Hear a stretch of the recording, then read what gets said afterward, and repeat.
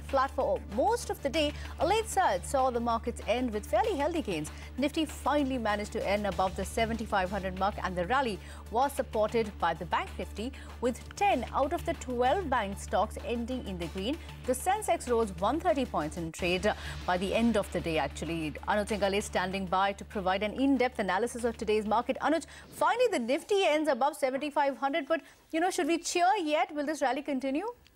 Well, will the rally continue or not? Uh, that's, of course, uh, something that time will decide. But as of now, the bulls are in control.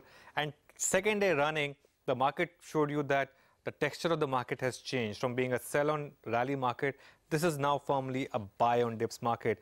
Today, the Nifty rallied 100 points from the morning gap down. The Bank Nifty rallied 300 points from the morning gap down and that's really as good as it gets as far as day traders are concerned. So it's been a good move. Large caps dominated today. A, a couple of mid caps also did well, but overall it was a large cap driven day with cash market volumes also quite high. Let's take a look at the stocks that led the market high. In terms of heavyweight stocks, we had Larsen and Toubro, Reliance and Infosys all contributing equally in today's trade. Some other nifty winners included stocks like Maruti, which was one of the big winners in fact, up 3.5%.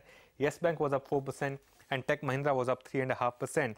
Some other stocks that did well in trade today included stocks like Bosch, ONGC and Hindustan Unilever. All of them were higher.